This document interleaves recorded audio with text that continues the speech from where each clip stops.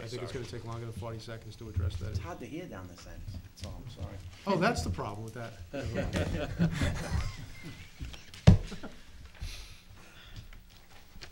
That's why we put you there. I didn't say it was hard to hear me.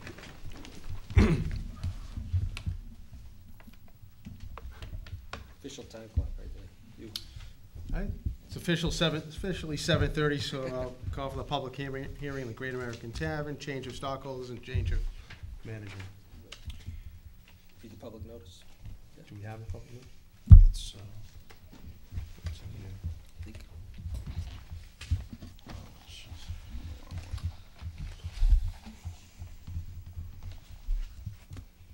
Back. You just another minute. You don't mind, do you? Nope, take your time.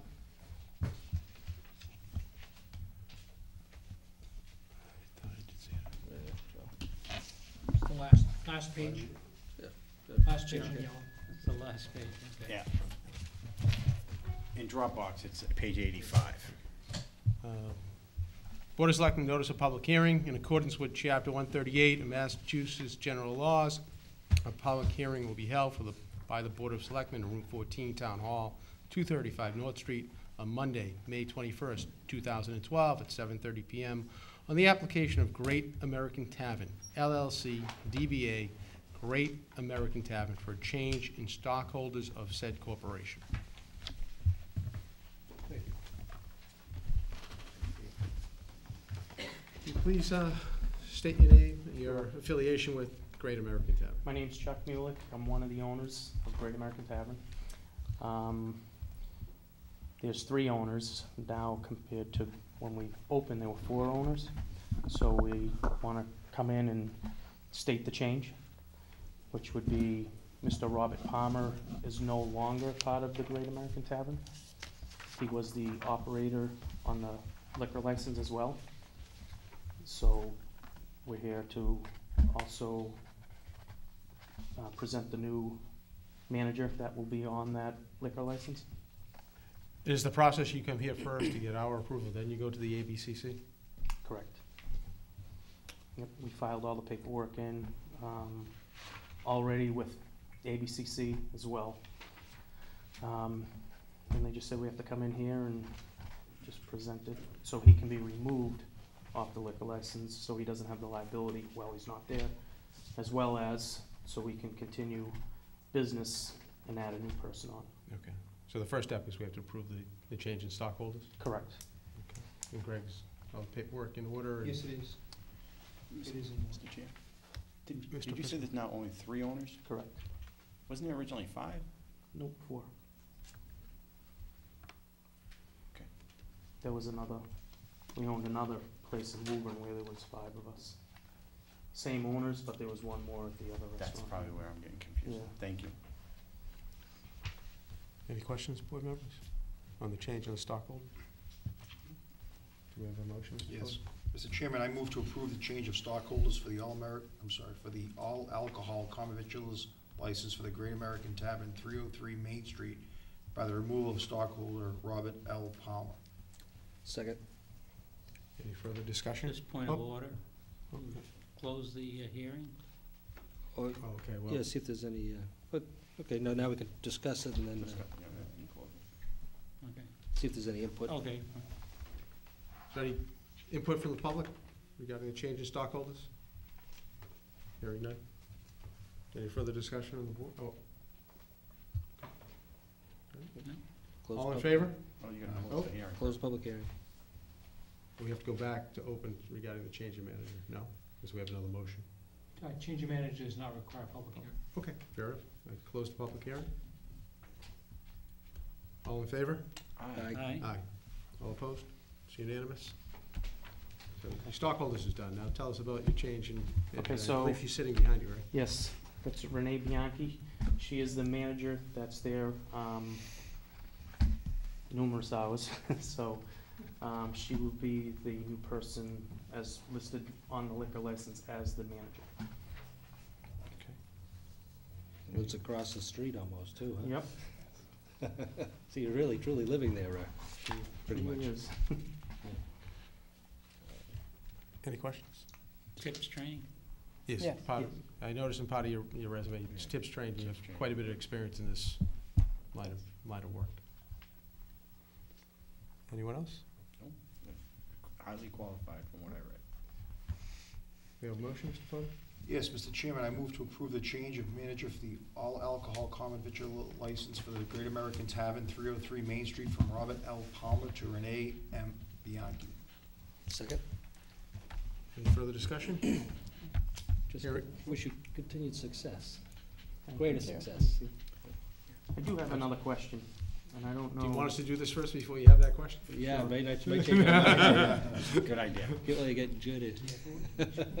Any further discussion on the change of manager? All in favor?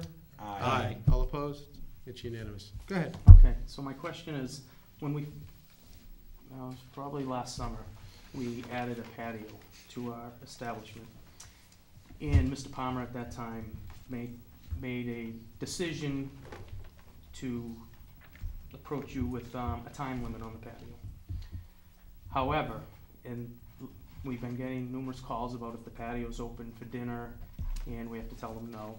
And back then, it was asked that we would put the smokers into that area to confine them. I don't know if you recall that. Sure. However, the ABCC came in, the auditor, and told us absolutely cannot have people in there smoking because it's a licensed area.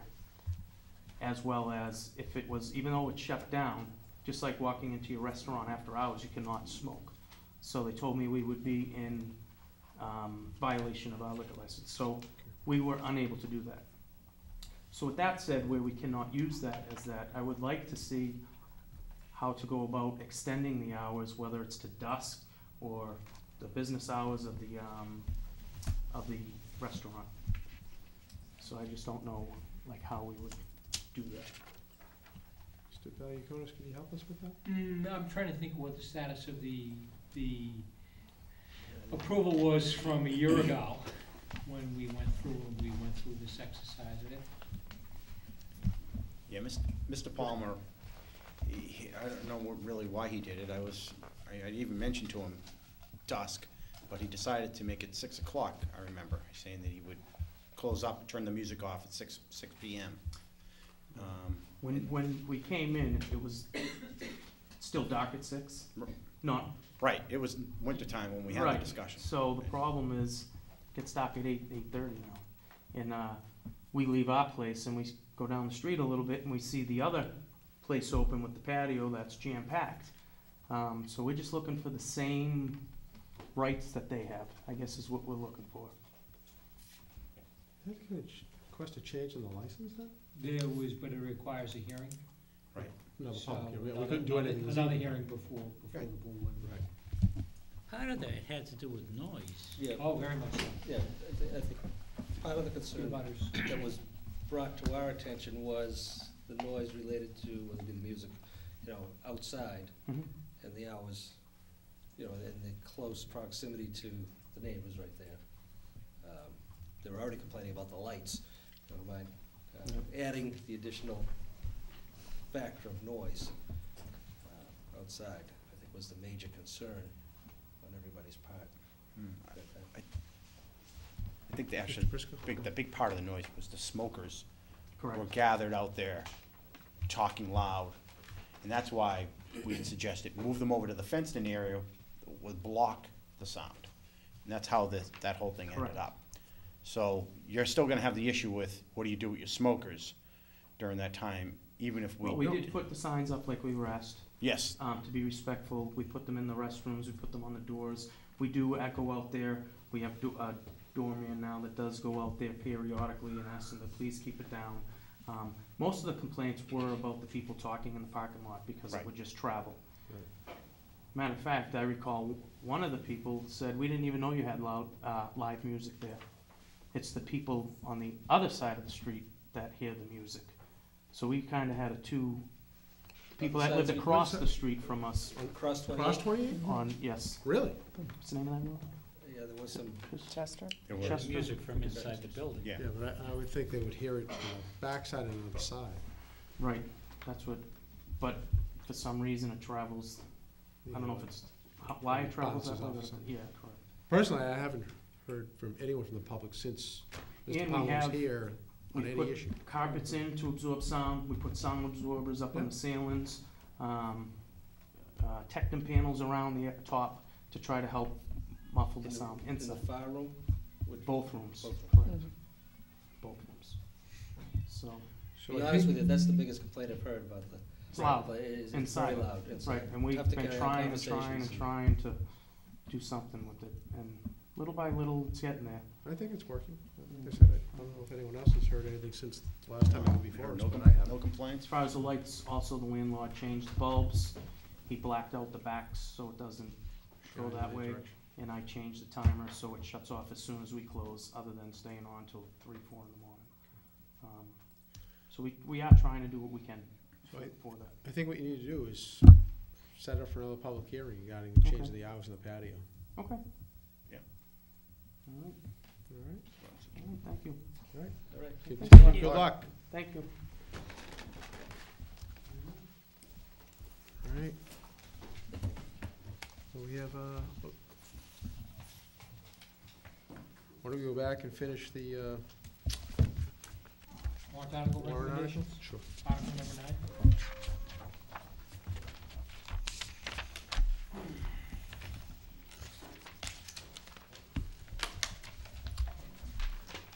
So I do see, uh, Mr. Fear has come in.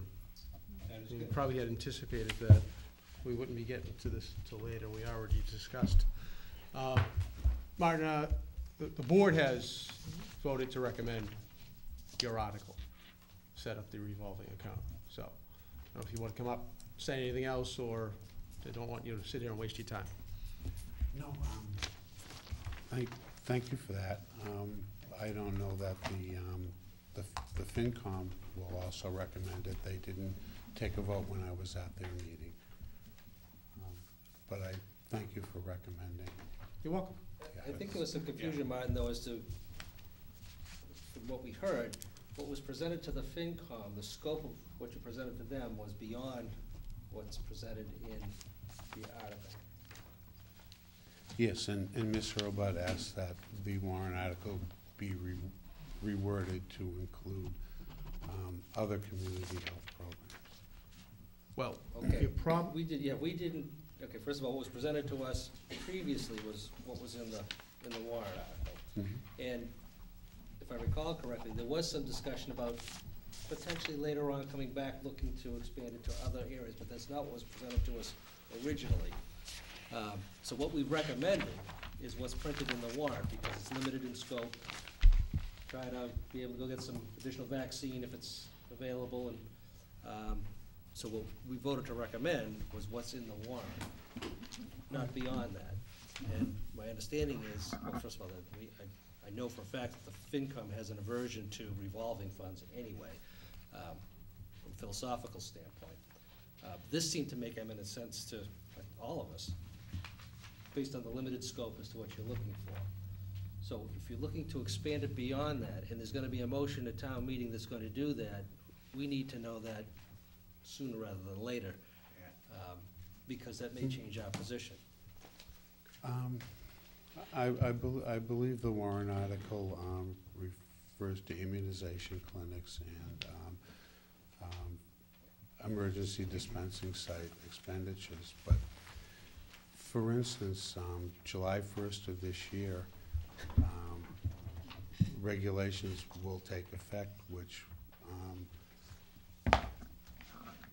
will require that people no longer dispose of needles, syringes, lances, sharps um, in their trash. My thought was to use this revolving fund um, to be able to dispose of those items, because I, I can, the state will provide us with um, as many free sharps containers as we want, but not the cost of disposal.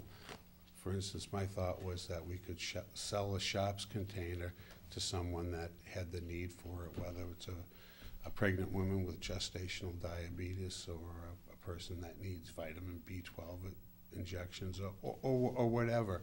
And they had the need for that. So, I mean, we budget a certain amount of money for sharps disposal really as a result of the clinics that we have. But